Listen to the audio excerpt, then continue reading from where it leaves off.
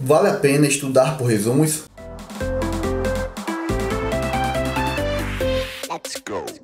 A gente sabe a importância que tem um resumo. No tripé da aprovação, né? Você faz o resumo, revisão e resolução de questões. O resumo, você pega aquele assunto gigante, resume de uma maneira mais simples para que você consiga fazer revisões constantes. Mas será que vale a pena você pegar um resumo já pronto e estudar por ele? Um resumo de uma outra pessoa ou um resumo que você compra um livro resumido ou algum conteúdo de algum professor ou de algum outro concurseiro resumido. Será que vale a pena estudar já por ele? Então, o ideal é que você faça o seu próprio resumo, mas eu não vou desconsiderar um resumo pronto e um resumo bem feito, porque se você estudou aquele assunto, se você está entendendo aquele assunto e você pega um resumo, muito bom, vai ajudar muito o seu estudo, vai consolidar aquelas informações, vai ajudar você no processo de estudo, de aprendizado, porque você vai ter um contato com um material que já está resumido. Porém, eu não recomendo que você vá direto para o resumo, se você não estudou o assunto principal.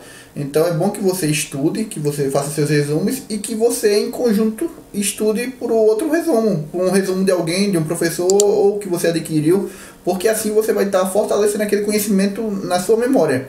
Você vai ver de outras maneiras diferentes e vai entender aquilo. Não vai ser uma novidade de forma superficial. Porque se você vai estudar um assunto novo e já vai direto para o resumo, talvez você não consiga é, o conhecimento e a profundidade que você precisa para entender aquilo. Então, estude por resumos prontos, não tem problema nenhum, mas contanto que você estude também pelo material original e também que você faça seus próprios resumos.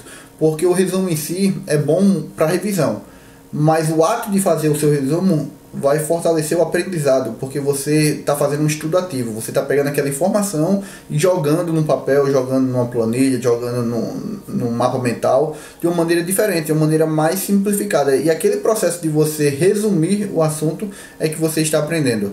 Eu usava muitos resumos prontos, resumos comprados em banca de revista, aquele resumão jurídico, então sinopse para revisar. Eu já tinha estudado aquilo, eu já estava com aquele conhecimento, eu já tinha feito meus resumos e adquiri esses outros resumos para poder ficar revisando também. Então, quanto mais conhecimento eu tinha daquele tema, daquele assunto, melhor, porque eu chegava realmente preparado na hora da prova.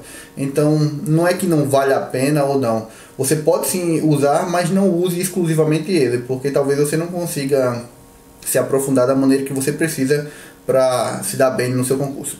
Se você gostou desse vídeo, clique em gostei. Se tiver qualquer dúvida, comenta aqui embaixo. Assine o canal para ficar por dentro dos próximos vídeos. E até amanhã.